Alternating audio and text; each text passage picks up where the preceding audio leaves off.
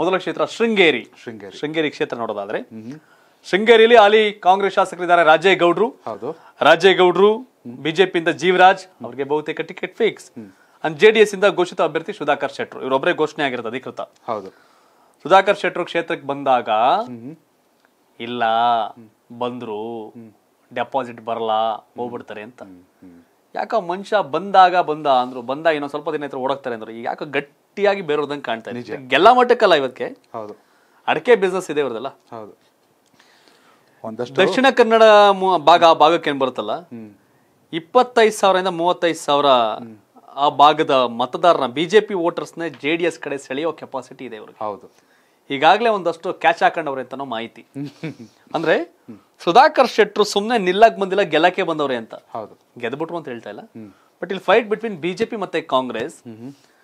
ಇಲ್ಲಿ ಅವರಿಬ್ಬರ ನಡುವೆ ಹಣಾಹಣಿ ಆಗಿದ್ರೆ ಬಿಜೆಪಿಗೆ ಅನುಕೂಲ.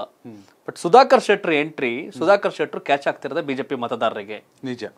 ಇದೇನಾಗ್ತಾ ಐತೆ? ದೊಡ್ಡ ಮಟ್ಟಿಗೆ ಇದು ಮುಸ್ಲಿಮ್ರು ಮತ್ತೆ ಕ್ರಿಶ್ಚಿಯನ್ಸ್ ಮತ ಸಂಪೂರ್ಣ ಕಾಂಗ್ರೆಸ್ಗೆ. ಅದೇನು ಡಿಸ್ಟರ್ಬ್ ಆಗಲ್ಲ. ಅವ್ರು ಕಾಂಗ್ರೆಸ್ ಬಿಟ್ಟು ಬೇರೆಯವ್ರಿಗೆ ಹಾಕಲ್ಲ ಸದ್ಯಕ್ಕೆ. ಸುಧಾಕರ್ ಶೆಟ್ಟಿ ಅವರ ಆರ್ಭಟ ಬಿಜೆಪಿಯ ಜೀವರಾಜ್ ಅವರಿಗೆ ಸಂಕಷ್ಟ. ಹೌದು. ಅನ್ನೋ ತರ ಆಗಿದೆ.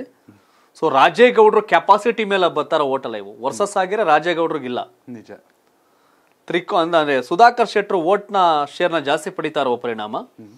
ಅದು ಬಿಜೆಪಿಗೆ ಹೊಡ್ತಾ ಬೀಳ್ತಾ ಇದೆ ಜೀವರಾಜ್ ಅವರಿಗೆ. ಅದು ರಾಜೇಗೌಡರಿಗೆ ಅನುಕೂಲ ಆಗ್ತಿದೆ.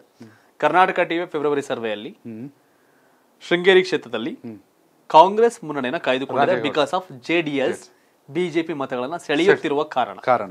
ಎಸ್ ಮುಂದಿನ ಕ್ಷೇತ್ರ. ಮನೆ ಮಂದಿಯೆಲ್ಲ ಪ್ರತಿದಿನ ಜಿನಿ ಮೊಳಕೆ ಕಟ್ಟಿದ ಕಾಳಿನ ಪೌಡರ್ ಆಹಾರ ಸೇವಿಸಿ ಡಬಲ್ ಎನರ್ಜಿ ಪಡೆಯಿರಿ. ಯಾಕಂದ್ರೆ ಮೊಳಕೆ ಕಟ್ಟಿದ ಕಾಳಿನ ಆಹಾರ ದೇಹಕ್ಕೆ ಹಂಡ್ರೆಡ್ ಪರ್ಸೆಂಟ್ ಪೋಷಕಾಂಶ ಒದಗಿಸುತ್ತೆ.